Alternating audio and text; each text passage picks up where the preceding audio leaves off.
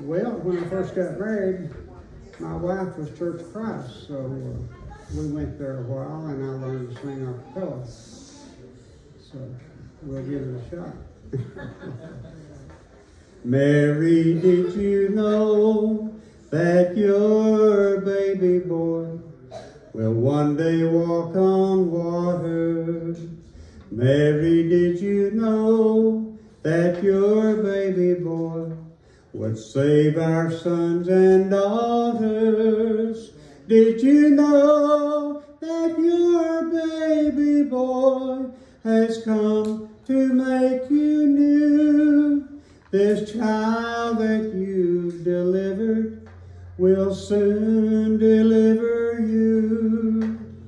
Mary, did you know that your baby boy would give sight to a blind man? Mary, did you know your baby boy would calm a storm with his hand? Did you know that your baby boy has walked where angels trod? And when you've kissed your little baby, you've kissed the face of God. The blind will see, the deaf will hear, and the dead will live again. The lame will leap, the dumb will speak, the praises of the Lamb. Mary, did you know that your baby boy is Lord of all creation? Mary, did you know that your baby boy would one day rule the nations? Did you know that your baby boy is heaven's perfect lamb? This child that you are holding is the great I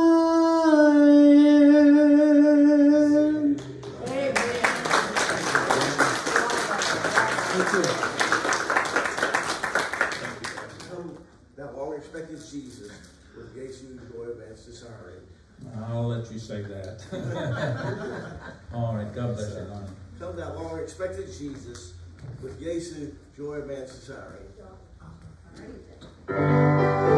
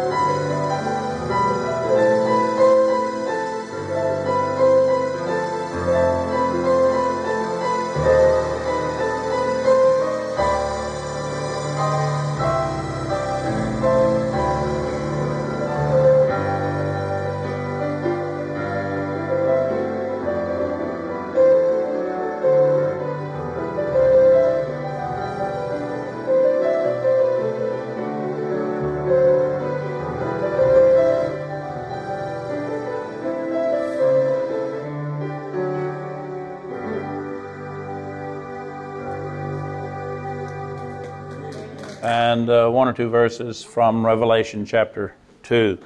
So, the last book, it's called the Revelation. It's not Revelations, it's a singular revelation. So, a lot of people just call it Revelations, but it is one revelation. All right? Rev-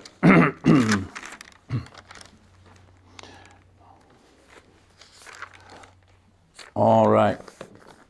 Again, thank you for being here with us today. It's our honor and our privilege to have each and every one of you here at the church, here at Messiah Baptist Church in the beautiful downtown area of Richland Hills, Texas. We're glad you're here. And of course, we want to thank those people who regularly join us weekly by way of YouTube. We appreciate those people who do that. It's a blessing to have people who regularly and faithfully join us week after week. Uh, we hope that we're being a blessing uh, to those who are not able to be here with us. Uh, today's message, I usually get an amen from this first statement. Today's message is not a long message. but I have to tell you, it's a pretty powerful message. It really has a, a real powerful uh, message to it. Uh, today, we're going to be speaking on the subject of hearing, of hearing. John said, before I, I read the, the, the scripture, John said that whoever hears the words of God is a follower of God. Whoever hears the word of God is a follower of God. Now, he's talking about a special kind of hearing, which we will discuss. Over the years, I have noticed that sometimes people get hard of hearing. Sometimes people lose their hearing. And sometimes people have a hard time listening or focusing. And I put this in here for the ladies. Sometimes men were accused of having selective hearing. Sometimes. I have noticed personally, I have noticed for me personally, that if the TV is on and it's loud, if the radio is playing music, and I'm listening to a song that I know, and then someone is trying to talk to me at the same time, I find myself saying, What did you say? They can be two feet away. Oh, what did you say? For me, it's very hard to listen to one thing and then turn my focus in on a conversation. I think women are better at it than men, though. I'm just saying. If I'm watching the Cowboys and someone starts talking to me, I'm not trying to be rude, but I'm only hearing a few words of what you're saying. I simply can't carry on an intelligent conversation and stay focused when there is a lot of noise. I just can't do it. But now, if someone is saying, I love you, I care about you, then I turn off the noise because I want to hear that. I want to hear that. I turn off the noise. When my kids were small, many times I would carry them in my arms. Y'all familiar with that, aren't you? you those of you the parents? Carried them till they was about three years old, and they got a little too big. But I carried them you know, in my arms. Sometimes they would talk to me while I'm carrying them in my arms. And of course, lots of times I would be in church, you know, because we, we raised our kids up in, in church. Sometimes they would talk to me while I was talking to someone else. I had him in my arms, and someone was here talking. And I was talking, then I would hear these words, just out faintly, I'd hear, Daddy, hey, Dad, Dad, and I'm talking. And if I didn't pay any attention, Glenn, till they got my attention, they wanted me to look them in the eye. They wanted my undivided attention. John wrote in the book of Revelation these words in Revelation 2 and verse 7 He that hath an ear, let him hear what the Spirit saith unto the churches. To him that overcometh will I give to eat of the tree of life, which is in the midst of the paradise of God. That is not a temporary promise, that is an eternal promise that will last forever. He that hath an ear, let him hear what the Spirit saith unto the churches. Jesus says those words to all seven churches mentioned in the book of Revelation. He says those words He that hath an ear, let him hear what the Spirit saith unto the churches.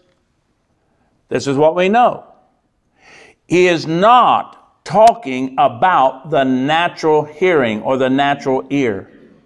He's talking about the spiritual hearing. Each of the seven churches will have a commendation, that means something good said about them, or a condemnation. When he says, He that hath an ear, let him hear what the Spirit saith unto the churches. Each church is given a promise. And if they will hear or listen to what the Spirit is saying, God promises that He's going to bless them in some special way. You see, I've observed, at least I think I have observed,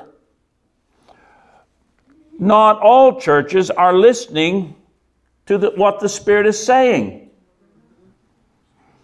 That is also true for the individual. Listen to what the Spirit, the Holy Spirit is speaking to your heart and your mind, and He promises to bless. But what we know is not everyone is listening. When the Spirit speaks to us, He is speaking to our heart and to our soul. He is speaking to us the things of God. We all have ears to hear noise, but not everyone can hear the words of the Holy Spirit because not everyone, first, has the Spirit of God living in them, but secondly, sometimes we simply aren't listening.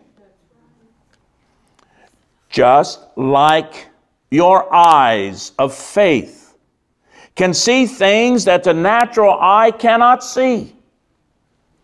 You can see things like love and joy and goodness and kindness. You can see those things because you have spiritual eyes. Your spiritual ears hear the things of God.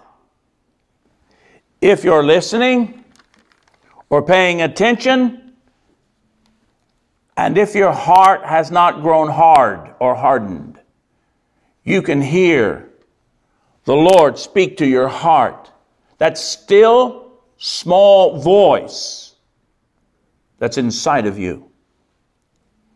Revelation chapter 1, verse 11 says these words Jesus speaking, I am the Alpha and Omega, the first and the last.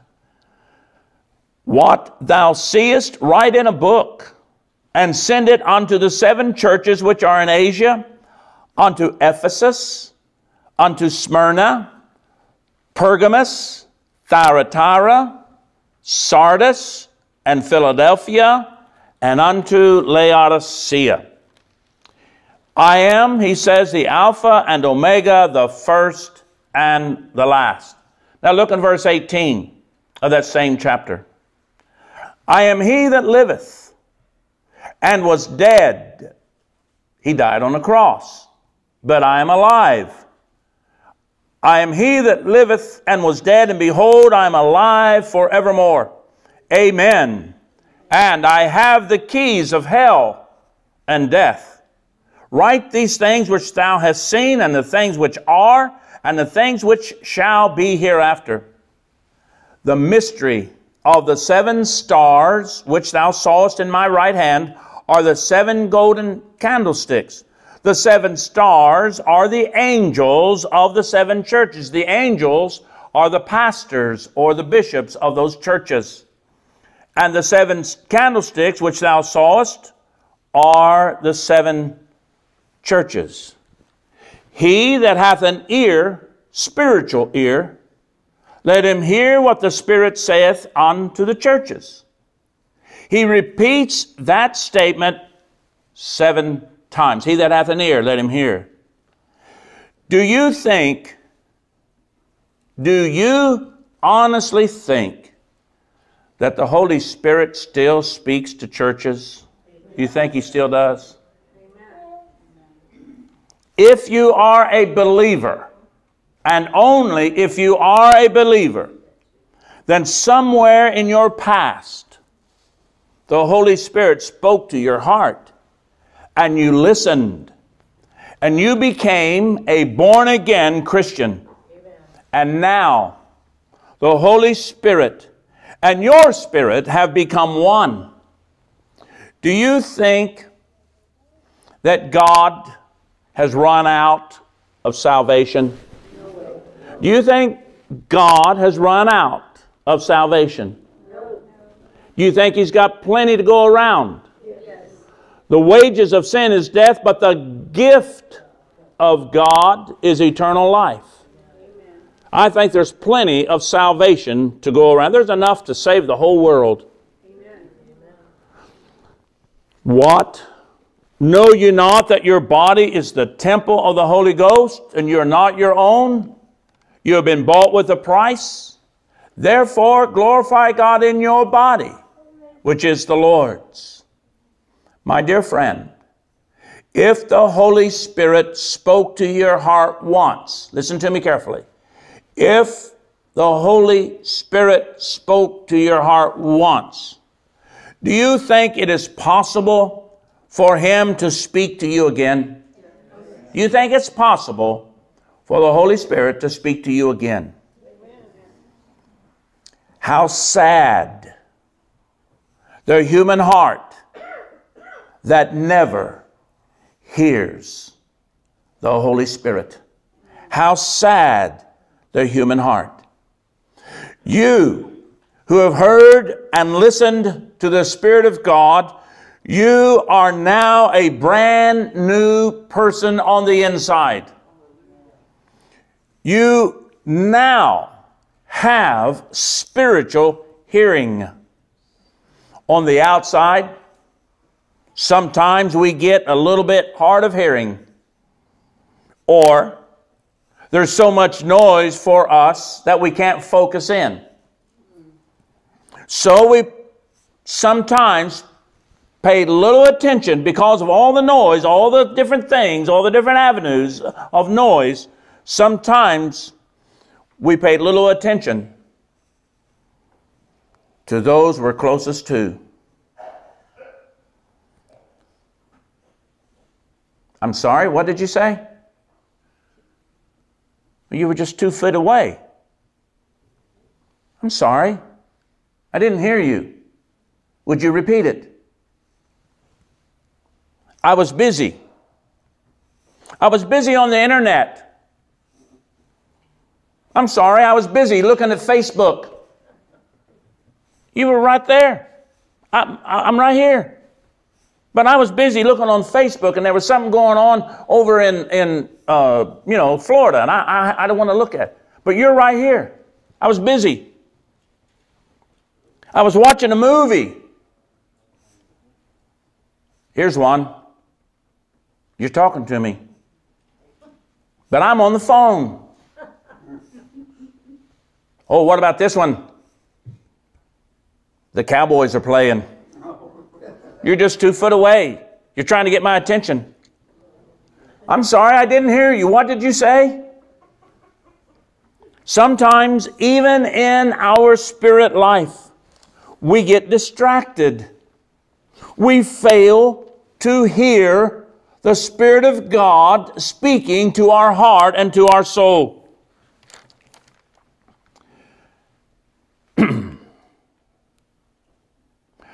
God will not only speak to you about getting saved, which I assume most of you have been saved, but He loves you. That's why the Holy Spirit lives inside of you. He can't get any closer to you. He loves you. He wants to spend time with you. For the Spirit of God will lead, guide, and direct your every thought if you will listen. Listen with the spiritual ears, which involves your heart. It involves your heart. Solomon said, The steps of a good man are ordered by the Lord, and he will delight in his way. God's ways are always the best way. We just don't always go them. God's ways are always the best way. We need to listen to know His will, don't we? We need to listen.